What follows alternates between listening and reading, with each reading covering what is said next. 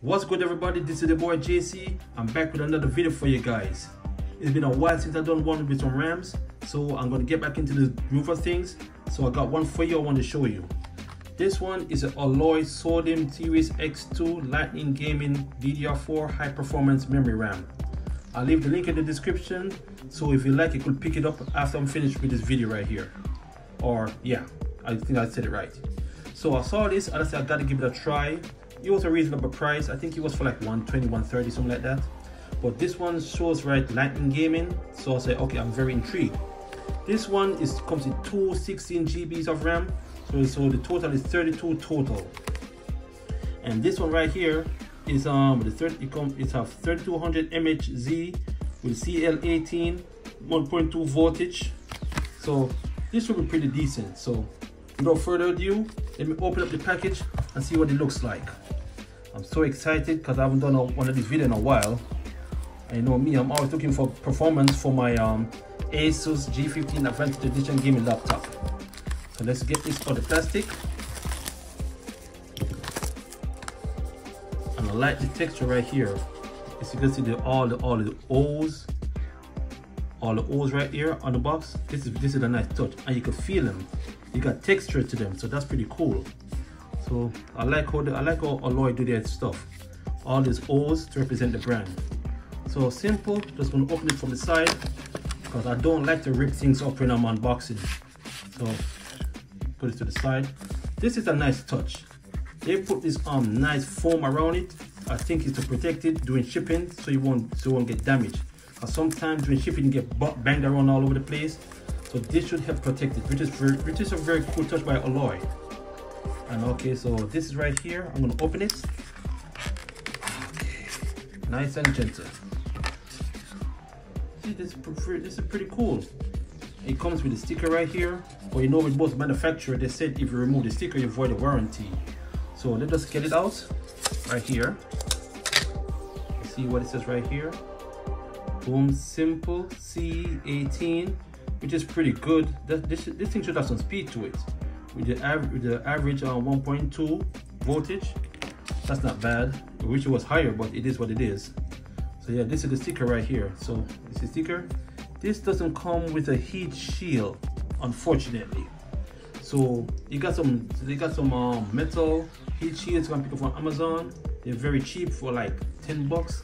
But this just come with a heat shield just come with a sticker right here.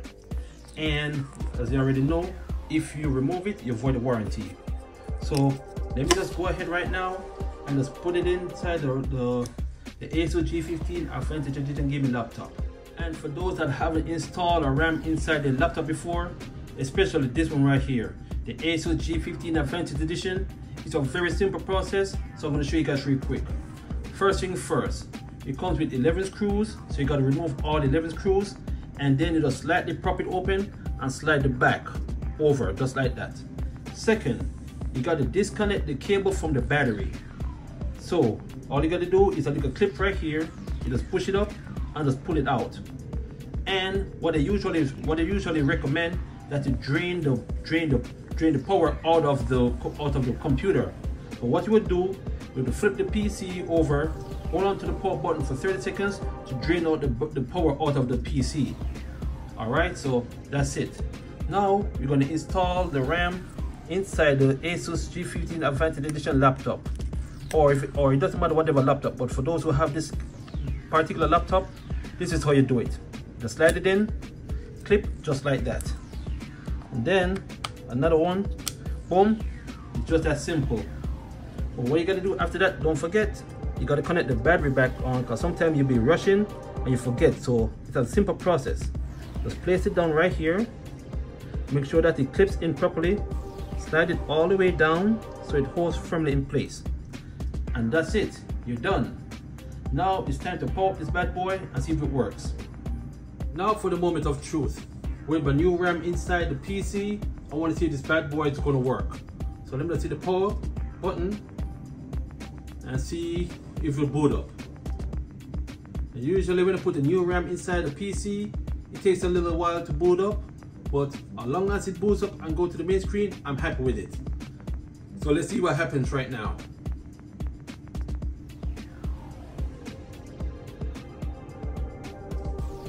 dust off this dust off the screen a little bit.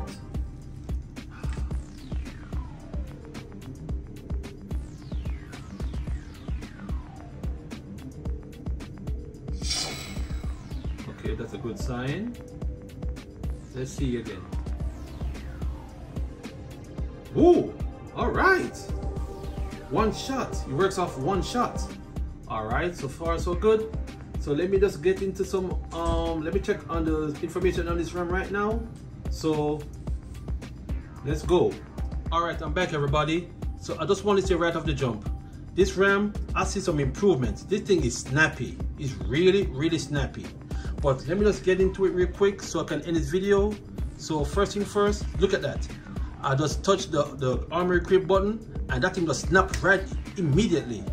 This thing is crazy. As you can see right here on the screen, in the Armoury Crate, it tells you my um tells you the the RAM right here, 31.4 GBs, and um it's running at 3200 mAh, so it's doing it's doing what it's supposed to do. That's pretty cool.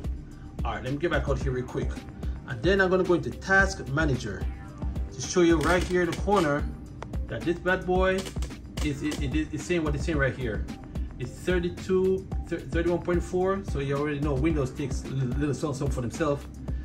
And so everything is registered as it's supposed to.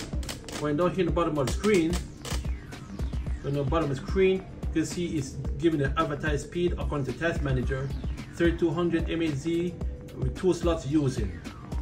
Is in use, I should say. So that's it's doing what it's supposed to do. Now, for the for the for the cream of the crop, I mean for the coup de grace, CPU Z. Now, with CPU Z, I gotta zoom in a little bit. I just want to say, when you're buying a RAM, sometimes the manufacturer don't give you what they say. And um, some of them say it will be like C the, the, the CAS will be like 20, and sometimes it end up being 22. But so far, I just want to show right now, I got the Ryzen 9 according to according to CPU Z. This is all of my information right here. And the core speed has been I've been doing this thing for a while and I like it so far. But let me just get into the memory part of it. So you can see right here, 30, 32 GB gig, um, gigabytes and um, the uncore frequency 1596, bam bam bam. So you can see right here the CAS latency is 18, so it's really it's really what as advertised.